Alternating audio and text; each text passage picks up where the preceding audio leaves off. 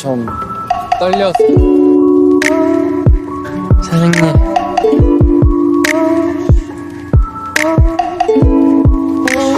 이런 거 물어보면 실례죠? 죄송합니다.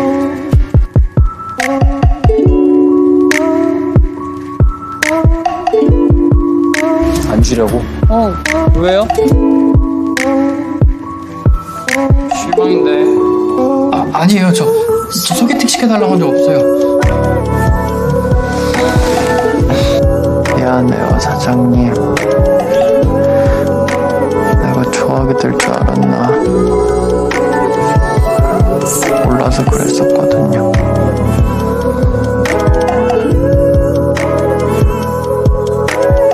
나는 내 얼굴 보고 반한 건 줄 알았는데.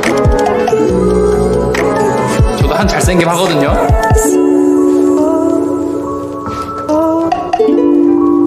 내가 잘못했네. 이제 안 그럴게요.